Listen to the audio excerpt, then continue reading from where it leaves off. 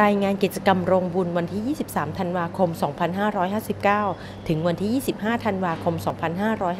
2559 โรงครัวกองทัพธรรม โดยทีมภูผาฟ้าน้ำ ได้เปิดบริการรอบเช้าตั้งแต่เวลา 4 นาฬิกา 50 นาที ถึง 7 นาฬิกา รอบกลางวันตั้งแต่เวลา 11 นาฬิกาถึง 13 นาฬิกา อาหารที่ได้นำมาบริการพี่น้องประชาชน รวม 3 วันมีดังนี้ค่ะ ข้าวสวย 76 หม้อ โปรตีนหวาน 6 หม้อ จับฉ่าย 10 หม้อ ผัดผักต่างๆ 19 หม้อ ข้าวต้ม 17 หม้อ ข้าวผัด 38 หม้อ ผัดหมี่ 18.5 หม้อ แกง 4.5 หม้อ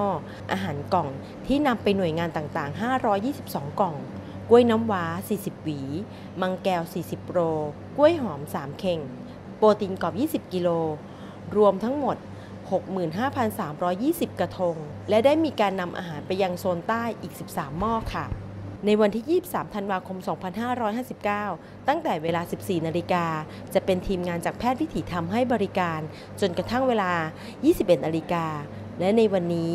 เวลา 14 นาฬิกาได้มีการนำอาหาร มาแจกในจุดเต็นท์รอคอย เป็นผัดหมี่ข้าวหมูแดง ตามด้วยลอดช่อง น้ำฟักทอง ช่วงเวลา 18 นาฬิกา คนเริ่มบางตา และหนาแน่นขึ้นในช่วงเวลา 19 นาฬิกา แต่ก็ยังมีการทำอาหารสำหรับแจกพี่น้องณจุดรอคอยเต็นท์กอและขอค่ะ และเมื่อเวลา 21นาฬิกา28 นาที คุณธินกรสายพุทธญาติธรรมชาวอโศกจากจังหวัดระนองนำพืชผักไร้สารพิษ มาบริจาคให้กับโรงครัวกองทัพธรรมที่ท้องสนามหลวง มีผักบุ้งจำนวน 100 กิโล ยอดมะพร้าว 10 ต้น ใบตอง 30 กิโล อีกทั้งเวลา 22 นาฬิกาได้มีการประชุมสรุปงานสรุปใจประจำวัน ได้หุงข้าวในช่วงเย็นประมาณ 7 หม้อ ข้าวต้ม 2 หม้อ ซุปผัก 2 หม้อ ข้าวหมูแดงประมาณ 300 กว่าห่อ ในวันที่ 24 ธันวาคมเวลา 6 นาฬิกา 11 นาที วันนี้เป็นวันสุดท้ายของทางภูผาฟ้าน้ำ ช่วงเช้าของการแจกอาหารให้กับพี่น้องประชาชน ณ จุดรอคอย เด็กๆสัมมาสิกขา ได้ช่วยกันนำอาหารมาแจกด้วยความอ่อนน้อมถ่อมตน ทั้งน้ำเสียง และกริยามารยาท บรรยากาศในวันนี้เป็นไปอย่างคึกคักมากขึ้นค่ะ เนื่องจากมีการเข้ามาเตรียมงานต่อจากทางสันติอโศก เพื่อมารับงานต่อในช่วงวันรุ่งขึ้น และพุทธสถานสันติอโศก มีมันเทศสองตันที่ได้รับการบริจาคมาจากเจ้าภาพอำเภอเสริงสาง จังหวัดนครราชสีมา เพื่อนำไปแจกโรงบุญณท้องสนามหลวงค่ะ เจ้าภาพก็คือ คุณเล็กเจ้าของไร่มัน และมีเจ้าภาพท่านอื่น ๆ ที่ได้ซื้อมันเทศไร้สารพิษมาร่วมบุญในครั้งนี้ด้วยค่ะ อีกทั้งเวลา 12 นาฬิกา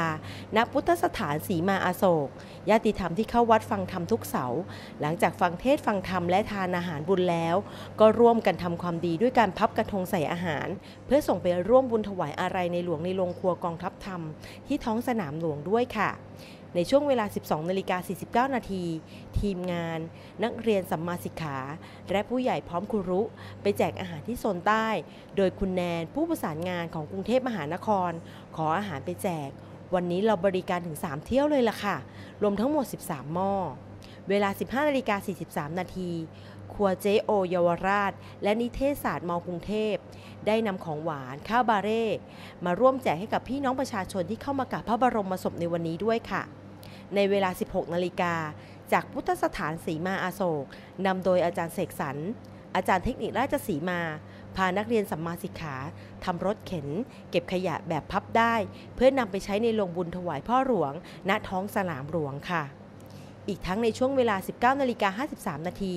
ได้มีการประชุมสรุปงาน โรงบุญมังสวิรัตอารัยในหลวง รัชกาลที่ 9 ณ ท้องสนามหลวงของทีมภูผาฟ้าน้ำ จังหวัดเชียงใหม่ตลอดระยะเวลา 10 วันที่ผ่านมา หลังจากนี้ทีมสันติอโศกจะมารับช่วงต่อตั้งแต่วันที่ 25-30 ธันวาคม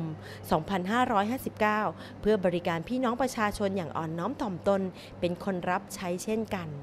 เวลา 20นาฬิกา บรรยากาศในการแจกอาหาร ได้มีเจ้าภาพต่างๆ ได้นำอาหารของว่าง ขนมของทอดต่างๆ มาร่วมแจกให้กับพี่น้องประชาชน ไม่ว่าจะเป็นคุณน้อย คุณชาตี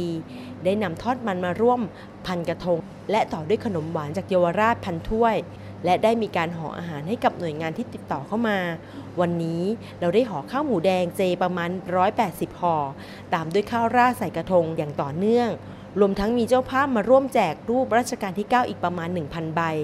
ถั่วเขียวและข้าวต้มในช่วงเย็นนี้ ก็ค่อยๆ ทยอยหมดลงนะคะ ในวันที่ 25 ธันวาคม เวลา 10 นาฬิกา มีพี่น้องพันธมิตร กระบี่และนครศรีธรรมราช ได้นำสับปะรดมาให้โรงครัวกองทัพทำประมาณ 2,000 กว่ากิโล และได้ร่วมกันปอกขนุนเพื่อบริการพี่น้องประชาชน ที่เข้ามากราบพระบรมศพในวันนี้ด้วยค่ะ และในช่วงเวลา 15นาฬิกา48 นาที ก็ได้เริ่มทยอยแจกขนมหวานเย็น เพื่อดับความร้อนในพื้นที่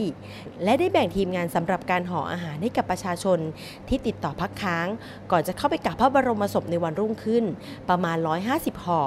ในช่วงเวลา 17 นาฬิกาของวันนี้ ประชาชนที่เข้ามากราบพระบรมศพ บางตากว่าทุกวันของช่วงอาทิตย์ที่ผ่านมา วันนี้เลยได้นำอาหารบรรจุถุง เพื่อนำไปแจกให้กับประชาชนที่เข้ามากราบพระบรมศพ ได้นำกลับไปรับประทานที่บ้านด้วยค่ะ ความน่ารักของเด็กๆ ที่ผู้ใหญ่ได้นำพามาเรียนรู้ เสียสละ เกื้อกูล สอนโดยไม่ต้องสอน ได้นำพาเด็กๆ มาเรียนรู้ซึมซับ อย่างเช่น คุณลุงบินตรง จิตอาสาแพทย์วิถีธรรมได้นำหลานๆตัวน้อยๆของพี่น้องจิตอาสา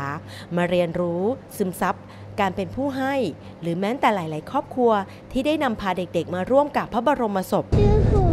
ชื่อหงเหรอคะ แล้วแล้วน้องหงอยู่ชั้นไหนคะ อนุบาลสามอนุบาลสามแล้ววันนี้น้องหงมาทำอะไรที่นี่คะอากาศในหลวง มากราบในหลวงเหรอ มากับใครเอ่ย มากับป้านะ อ๋อ มากับป้ากับคุณน้าเหรอคะ แล้วแล้วเราเคยเห็นในหลวงไหมคะ เคยเคยเห็นที่ไหน ในทีวี เหรอ แต่ท่านทำอะไรบ้างทำหลาย อย่างอะทำไมถึงอยากมา หรือว่ามีใครบังคับมาเปล่า ไม่อยากมาเอง เด็กๆหลายคน รู้จักพ่อหลวงทางทีวี